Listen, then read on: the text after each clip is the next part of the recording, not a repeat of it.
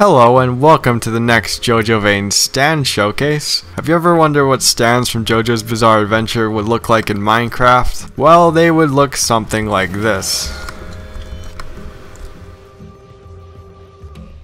The mod pack is Jojovein, the game version is 1.12, and it is being actively developed.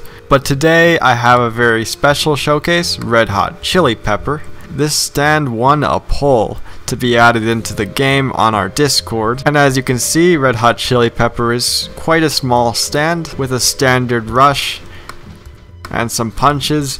It also has the same sneak ability as Silver Chariot where it dashes forward and damages mobs as it goes. But as a stand of electricity, Red Hot Chili Pepper has some interesting properties that we will discuss later in this video. The first thing that I want to show off is Red Hot Chili Pepper's ability to attack from a distance.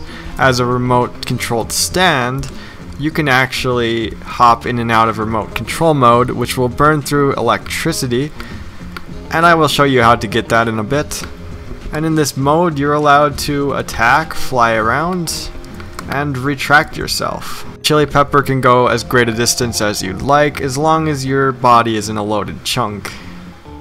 When it touches water, it will disperse. If you want more electricity to continue going on, you can simply touch a redstone torch. This can be done while you're in remote control mode or while you're outside of remote control mode. You can also gain it very fast with a burst of hormone, and Cyborg has an increased battery storage. Red Hot Chili Pepper's ability to travel through redstone wires is quite interesting because it can pass through walls and deal with strange elevation.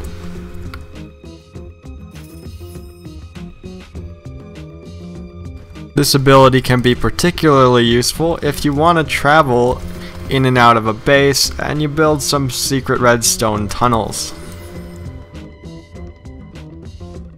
And now I'm on the balcony, hooray. Woo! Red Hot Chili Pepper has the ability to absorb all of the electricity in a city, making it absurdly powerful. So to translate this we can go from our standard damage output to our supercharged damage output. In this mode, Chili Pepper is much faster, your attack speed increases, and your damage increases. But it also burns through your battery quite rapidly. I hope you enjoyed the idea of a stand that interacts with the environment in a more unique way. The first wave of stands was focused on very popular common stands that are just power types for the most part.